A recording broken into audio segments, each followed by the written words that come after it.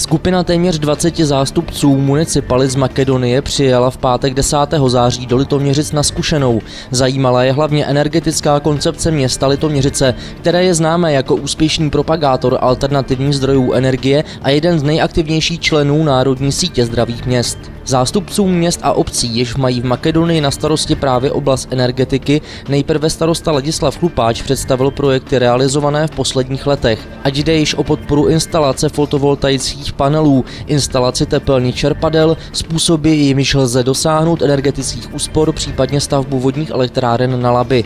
Největší zájem ovšem vzbudil projekt stavby geotermální teplárny, který je v České republice projektem pilotním a jehož jsou litoměřice nositeli. Vedoucí odboru životního životního prostředí Pavel Grindler odpovídal na poměrně odborné a mnohdy detailní dotazy. Informoval o tom projektový manažer městského úřadu Antonín Tim, který návštěvu delegace z Makedonie chápe i jako prestižní záležitost. Litoměřice jí totiž byly obecně prospěšnou společností Porsena zabývající se energetikou měst doporučeny jako město úspěšně propagující alternativní zdroje energie s dobře budovanou energetickou koncepcí.